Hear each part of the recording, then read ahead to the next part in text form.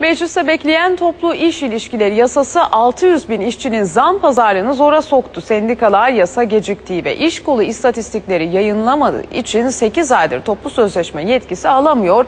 Bu nedenle de işverenle zam görüşmelerine başlayamıyor. Bu gecikme bir eylemle protesto edildi.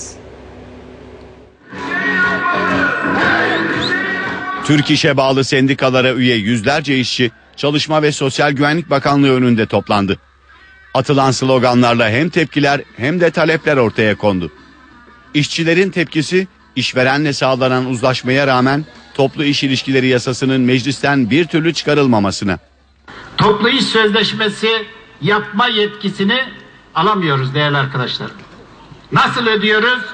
Pazarlık masasına oturamadığımız için ücretlerimize zam alamıyoruz, sözleşme yapamıyoruz. Yasa çıkmadığı ve iş kolu istatistikleri yayınlanmadığı için sendikalar toplu sözleşme yetkisi alamıyor. Bu nedenle de 302 bin işçi 8 aydır zam alamadan eski maaşıyla çalışıyor.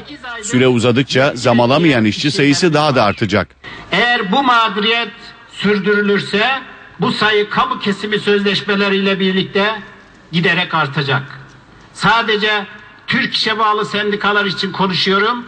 Sayı 600 binleri geçecek. Türk İş Başkanı Mustafa Kumlu sorunun çözümü için başbakandan randevu istediklerini, işverenlerle birlikte başbakanla görüşeceklerini söyledi. Çevre ve Şehircilik Bakanı